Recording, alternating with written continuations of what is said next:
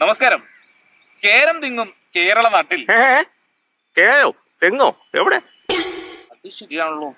തേങ്ങയ്ക്ക് നാപ്പത്തഞ്ച് രൂപ വിലയായി. ചേട്ടൻ പറഞ്ഞ കറക്റ്റ് അത് പറയാൻ പറ്റൂ വേറെ എന്ത് ക്യാപ്ഷൻ പിടിക്കും? ആ മലയാളം ചൊല്ലും മലയാളികളുടെ നാട്ടിൽ. ഓ ഇവിടെ മലയാളികൾ മാത്രം ഇവിടെ കുറവാ. ബംഗാളികളാ കൂടുതൽ. ശരിയാണ്. ബംഗാളി കൊണ്ട് നടക്കാൻ പറ്റത്തില്ല. ക്യാമറ ചെയ്യുന്നവരും ബംഗാളിയാണല്ലോ ഓ സോറി ഓക്കെ അപ്പൊ നമ്മൾ ഇനി എന്ത് പറയും മലയാളത്തെ കുറിച്ചും ഓണത്തെ കുറിച്ചും കൂടുതൽ വലിച്ചു നീട്ടേണ്ട ആവശ്യമില്ല. എല്ലാ മലയാളികൾക്കും ഞങ്ങളുടെ ഹൃദയം നിറഞ്ഞ ഓണാശംസകൾ. മലയാളിയെ സംബന്ധിച്ചിടത്തോളം ഓണം എന്ന് പറയുന്നത് കൂടിച്ചേരലിന്റെയും ഐക്യത്തിന്റെയും സാഹോദര്യത്തിന്റെയും ഒക്കെ കഥകൾ ധാരാളം പറയാനുള്ള ഒരു ആഘോഷം തന്നെയാണ്. നമുക്കറിയാം ചരിത്രം എടുത്ത് പരിശോധിക്കുമ്പോൾ മഹാബലിയുടെ വരവും മഹാബലി പ്രജകളെ കാണാനായിട്ട് കേരള നാട്ടിലേക്ക് വരുന്ന കഥകളുമൊക്കെ നമ്മുടെ മനസ്സിലുണ്ട്.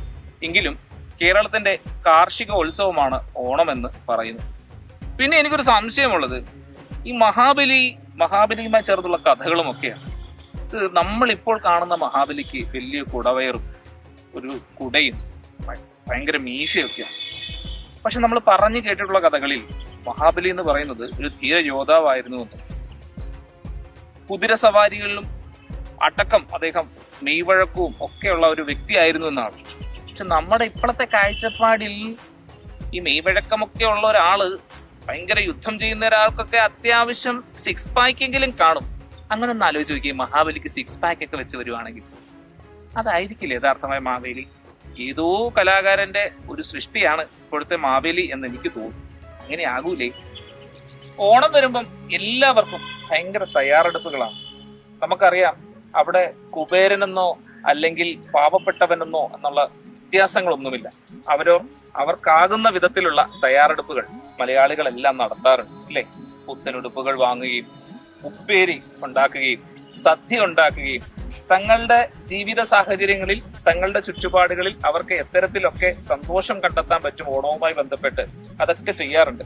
നമ്മൾ കുട്ടികൾക്ക് അതിനകത്ത് കുറെ അധികം കാര്യങ്ങൾ ചെയ്തു കൊടുക്കുന്നുണ്ട്. ഊഞ്ഞാലിടുകാനും അവരെ അത്തപ്പൂക്കളം ഒരുക്കാനും അതുപോലെ തന്നെ കുട്ടികളെല്ലാം കൂടിയുള്ള കളികൾക്കുമൊക്കെ നമ്മൾ സാഹചര്യം ഒരുക്കി കൊടുക്കുന്ന ഒരു ആഘോഷം കൂടിയാണ് ഓണമെന്നും പറയുന്നത്. കാണം വിറ്റും ഓണം ഉണ്ണണമെന്ന് മലയാളികളുടെ ഇടയിൽ കേട്ടിട്ടുള്ള ഒരു പഴമൊഴിയുണ്ട് കൃത്യമാണ്. മലയാളി അത് ചെയ്തു പോരുന്നുമുണ്ട്.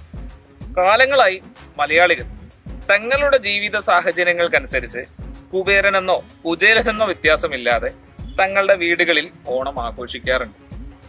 പുത്തൻ വസ്ത്രങ്ങൾ മേടിച്ച് ആ സദ്യവട്ടങ്ങളൊക്കെ ആ ഓണ സമയത്ത് ഒരുക്കി അതിലുള്ള ഒരു തയ്യാറെടുപ്പുകളൊക്കെ നടത്തി മാനസികമായ ഒരു സന്തോഷം പോലും ഓണത്തിന്റെ ആ ഒരു സമയത്ത് മലയാളികൾ നേടിയെടുക്കാറുണ്ട്.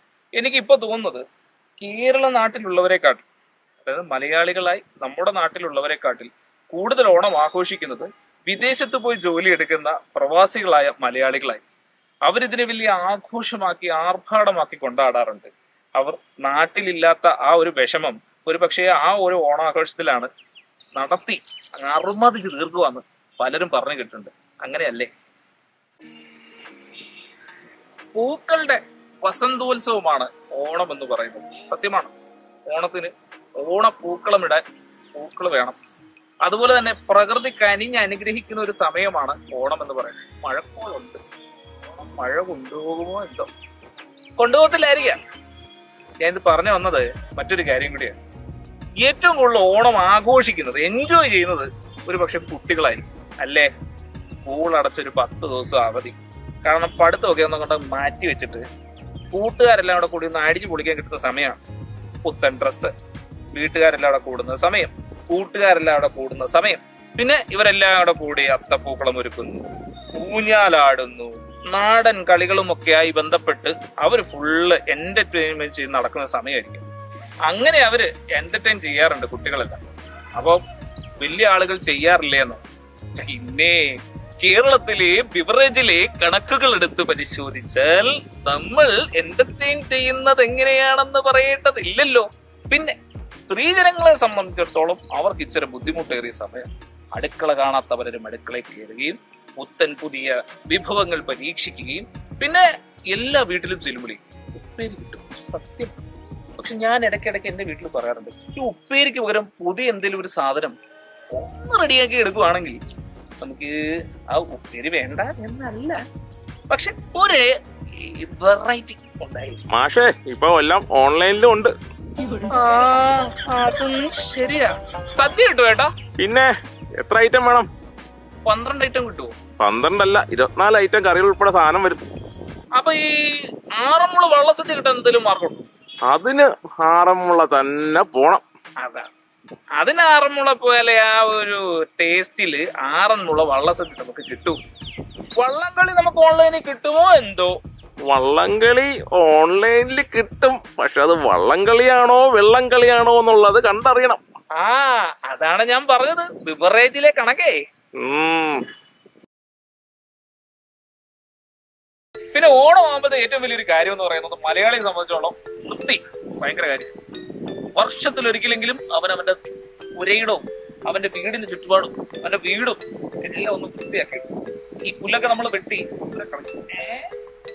നമ്മൾ ഇല്ലെന്ന് പറഞ്ഞ സാധനത്തിന്റെ അതുമല്ലേ കിടക്കണത് ഏ? ഓല മടലിന്റെ പിള്ളേരെ ക്രിക്കറ്റ് കളിക്കാൻ കൊണ്ട് ഇട്ടതാണോ എന്നൊരു സംശയം. പക്ഷെ ഉണങ്ങി എന്ത് ചെയ്യാം? വീട്ടിൽ അമ്മയ്ക്ക് കൊണ്ടു കൊടുക്കാം. ഓണത്തിന് ഉപ്പേരി വെക്കുമ്പോൾ അടുപ്പിൽ വെക്കാലോ? അമ്മ തലക്കെട്ട് അടിക്കാതിരുന്നാ മതി. ഇപ്പം ഇതൊക്കെ ഉണ്ടോ അടുപ്പൊക്കെ? ശരിയാണല്ലോ. ഗ്യാസിന്റെ നടുക്ക് ഇത് എവിടെ കൊണ്ട് വെക്കും?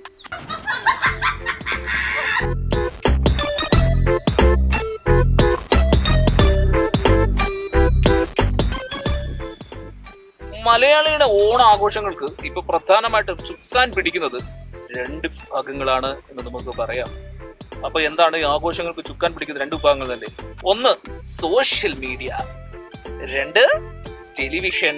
ചേട്ടാ നമ്മളും അതിന്റെ ഒരു ഭാഗമാണ്.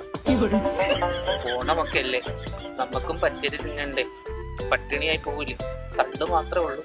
പട്ടിണിയാണ് പട്ടിണി. ആ. പക്ഷേ ആഘോഷങ്ങൾക്ക് ഇഷ്ടം പോലെ വിഭവങ്ങളുമായാണ് അവർ വരുന്നത്. മൊഴിമാറ്റ ചലച്ചിത്രങ്ങളടക്കം നമ്മുടെ സൂപ്പർ താരങ്ങളുടെ ചിത്രങ്ങളടക്കം നിരവധി പ്രോഗ്രാമുകൾ വളരെ വെറൈറ്റി പരിപാടികൾ. പിന്നെ നമ്മളാരും ഇത് കാണുന്നില്ല സോഷ്യൽ മീഡിയ നോക്കുന്നില്ല എന്ന് പറഞ്ഞാലും നെഗറ്റീവ് കമന്റ് ഇടാനെങ്കിലും നമ്മൾ ആരെങ്കിലും ഒക്കെ ഇടക്കിടക്ക് അവിടെ കേറാറുണ്ട്. ഇല്ലെന്ന് പറയണ്ട. ഫേക്ക് ഐഡികൾ ധാരാളമുണ്ടേ. നമ്മൾ സംസാരിക്കുന്ന കണ്ടപ്പോ നമുക്ക് പുതിയൊരു കൂട്ടുകാരനെ കിട്ടിയിട്ടുണ്ട്. നമുക്ക് പേരൊന്ന് ചോദിച്ചാലോ? എന്താ പറയാ പേര്? മുഹമ്മദ് അർഫാൻ. അങ്ങനെയാണോ? അങ്ങനെയാണോ? എന്ത് ഇടിവിട്ട് പേരാണോ ഇത്? സാരി പേരിട്ടെ? എത്രാം ക്ലാസ്സിലാണ് പഠിക്കുന്നത് യു കെ ജിയിലാണ് ഏത് സ്കൂളാ? ഏത് സ്കൂളാ? ആ ആ സ്കൂളിലാണോ പഠിക്കുന്നത് അല്ലേ? ശരി. മോനെ ഓണമൊക്കെ ആഘോഷിക്കാറുണ്ടോ? ഓണം ഓണം.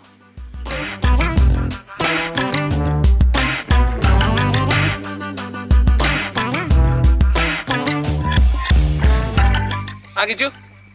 എന്താ ഞാനിവിടെ നമ്മുടെ ചാനലിന് വേണ്ടി കണ്ടന്റ് ആ നൂറ് സദ്യ പറഞ്ഞിരുന്നല്ലോ. ക്ലബിന്റെ പരിപാടിക്ക്. ആ ആ ആ ആ ആ എന്നിട്ട്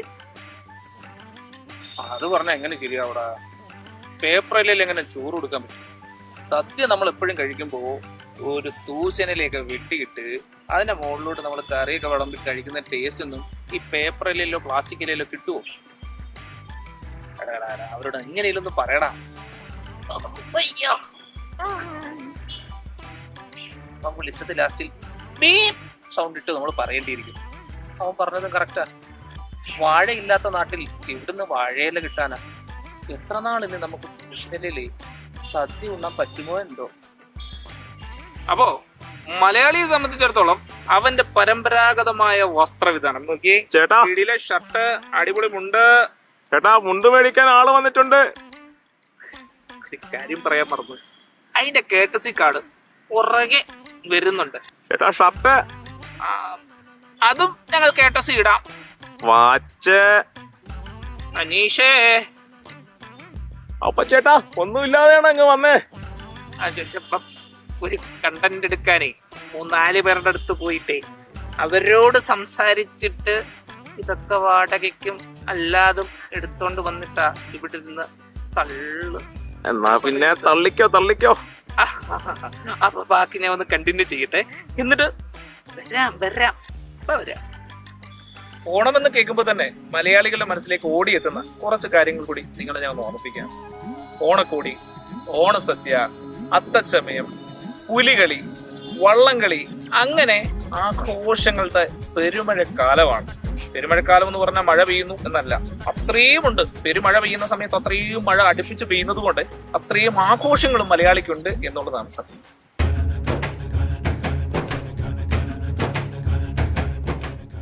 തെങ്ങ് കുറവാണ് തേങ്ങ കുറവാണ് എന്ന് പറഞ്ഞത് കൊണ്ട് തന്നെയാണ് ഇന്ന് കേരം തിങ്ങിയിരുന്ന കേരള നാട്ടിലെ ഒന്ന് രണ്ട് കേരം ഞങ്ങൾ കാണിക്കാൻ ശ്രമിച്ചത്. ഇതൊക്കെയാണെങ്കിലും പ്രതിസന്ധികളിൽ ഒറ്റക്കെട്ടായി നിൽക്കുന്ന മലയാളിയുണ്ട്. ആരൊക്കെ വിമർശിച്ചാലും ആരൊക്കെ തള്ളിപ്പറഞ്ഞാലും ആവശ്യം വരുമ്പോൾ അവൻ ഒറ്റക്കെട്ടായി തന്നെ നിൽക്കും. എല്ലാ മലയാളികൾക്കും മീഡിയ സ്പീറിന്റെ എല്ലാ പ്രേക്ഷകർക്കും ഒറ്റക്കെട്ടായി നിൽക്കുന്ന എല്ലാ മലയാളികൾക്കും ഹൃദയം നിറഞ്ഞ ഒരു അടിപൊളി ഓണാശംസ. ബൈ.